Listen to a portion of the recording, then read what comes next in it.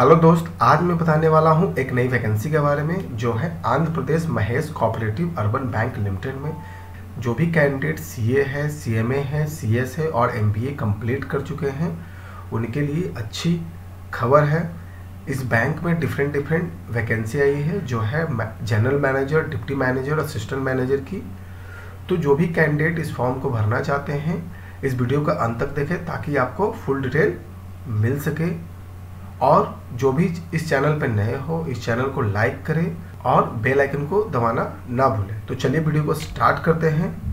बात करते हैं Andhra Pradesh Mahesh cooperative urban bank limited की, जिसमें आपका डिफरेंट डिफरेंट पोस्ट आई है। फ़र्स्ट पोस्ट है जनरल मैनेजर सेकंड है deputy general manager assistant general manager senior manager manager chartered accountant company secretary and chief risk officer की post आई है। डेट की बात करें तो जब से नोटिफिकेशन इशू हुआ है सिक्स सितंबर को, उससे पंद्रह दिन के अंदर में आपको यह फॉर्म को अप्लाई कर देना है। यानी लास्ट डेट जो आपका है ट्वेंटी फोर सितंबर है, जो आप इस वेबसाइट पर W W dot A P Mahesh bank dot com पर आप जाकर विज़िट करके ऑनलाइन अप्लाई कर सकते हैं। पे पैकेज की बात करें तो आपका जो पैकेज दिया जाएगा, आपके क्वालिफिकेशन और एक्सपीरियंस बेस्ड पे दिया जाएगा। बात करते हैं फ़र्स्ट पोजीशन की, जो है जनरल मैनेजर जिसमें नंबर ऑफ़ पोस्ट की बात करें तो थ्री है, जिसमें जो आपका जॉब डिस्क्रिप्शन होगा बिज़नेस डेवलपमेंट का ऑपरेशन का और इन्वेस्टमेंट का होगा। एजुकेशन क्वालिफिकेशन की बात करें तो आप graduate post graduate in any subject candidate with M B A C F A I C W A C A C S and C A I I B will be given preference आपको मिलेगा। अगर ये सब degree आपके पास है तो आपको preference मिलेगा। एज की बात करें तो आपका जो एज होना चाहिए 53 थ्री ईयर्स से कम होना चाहिए।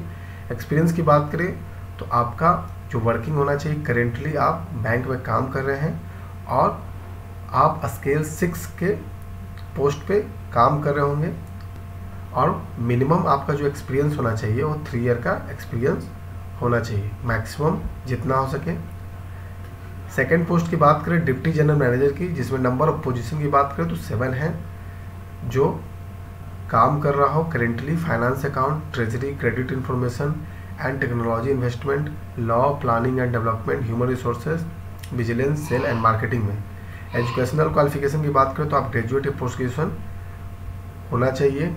और कैंडिडेट जो भी M B A C F A I C W A C A C S C A I I B will be given preference अगर है तो आपको प्रेफरेंस दिया जाएगा। एज की बात करें तो आपका जो एज होना चाहिए फिफ्टी ईयर से कम होना चाहिए। एक्सपीरियंस की बात करें तो मिनिमम आपका थ्री ईयर का एक्सपीरियंस होना चाहिए स्केल फाइव के पोस्ट पर। थर्ड पोस्ट की बात करें तो असिस्टेंट जनरल मैनेजर है, जिसमें नंबर ऑफ़ पोजीशन की बात करें तो सेवेंटीन है। जिसमें आपका जॉब प्रोफ़ाइल होना चाहिए finance and accounts treasury credit state information and technology law recovery marketing sales planning development audit and infection human resources educational qualification की बात करें तो आप ग्रेजुएट पोस्ट ग्रेजुएट होने चाहिए कोई भी स्ट्रीम में और उन कैंडिडेट को प्रेफरेंस दिया जाएगा जो M B A C F A I C W A C A C S C A I I भी रहेगा तो उनको प्रेफरेंस दिया जाएगा। एज की बात करें तो 50 ईयर्स से कम होना चाहिए। एक्सपीरियंस की बात करें तो आपका मिनिमम थ्री ईयर का एक्सपीरियंस होना चाहिए स्केल फोर और फाइव के पोस्ट पे। नेक्स्ट पोस्ट की बात करें तो सीनियर मैनेजर है एचओडी जिसमें नंबर ऑफ़ पोस्ट की बात करें तो 34 है। वो भी आपका finance account treasury credit insurance state information technology में होना चाहिए। एजुकेशनल क्वालिफिकेशन बात करें तो इसमें भी सेम है, यानी आपको ग्रेजुएट और पोस्ट ग्रेजुएट होना चाहिए। प्लस आपको प्रेफरेंस दिया जाएगा M B A C F A I C W C A C S C A I I B अगर आप पास आउट हैं तो अच्छा अपॉर्चुनिटी है आपके पास। एज की बात करें तो बिलो आपका फोर्टी फाइव ईयर्स होना चाहिए। एक्सपीरियंस की बात करें तो मिनिमम आपका थ्री ईयर का एक्सपीरियंस होना चाहिए। और आप करेंटली बैंक में स्केल थ्री पर आप काम कर रहे होंगे। नेक्स्ट पोस्ट की बात करें तो मैनेजर एंड ब्रांच मैनेजर का पोस्ट है, जिसमें नंबर ऑफ़ पोजीशन की बात करें तो 41 है।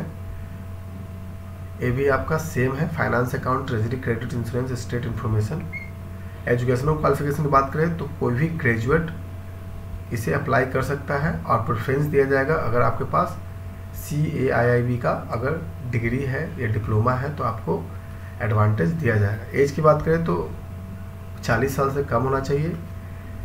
एक्सपीरियंस की बात करें तो एटलीस्ट आपका थ्री ईयर का एक्सपीरियंस होना चाहिए, कोई भी branch commercial urban cooperative bank में।